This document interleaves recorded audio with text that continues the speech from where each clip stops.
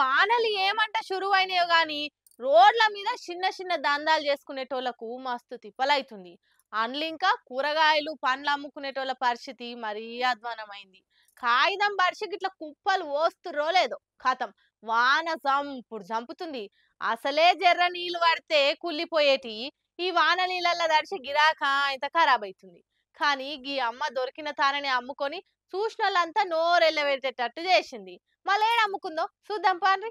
ఆహా what a vision what a idea. ఇది కదా వ్యాపారం అంటే. ఏం చేస్తారు పాటు?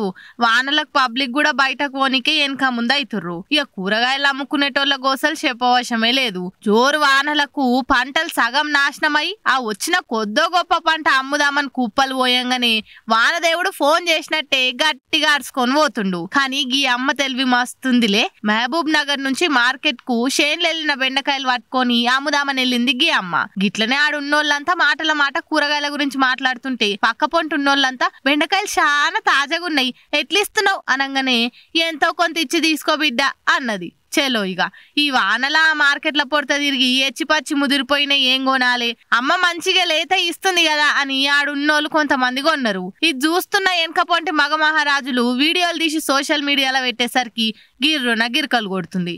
వారే వా ఫ్రీ బస్సును ఆడోళ్ళు గిట్ల కూడా వాడుతుర్లే అని ఊగలంటే దాంట్లో తప్పేముంది? ఆమె దందా ఆమె చేసుకుంటుంది. ఇంకా మంచిగా ఫ్రెష్ ఇస్తుందిగా అని ఇంకొందరు సోపతి వాళ్ళకి ఆమె తెలివిని మెచ్చుకుంటుర్రు.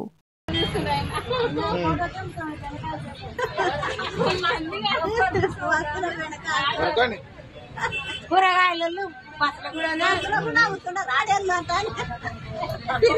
కూడా అమ్ముతున్నారు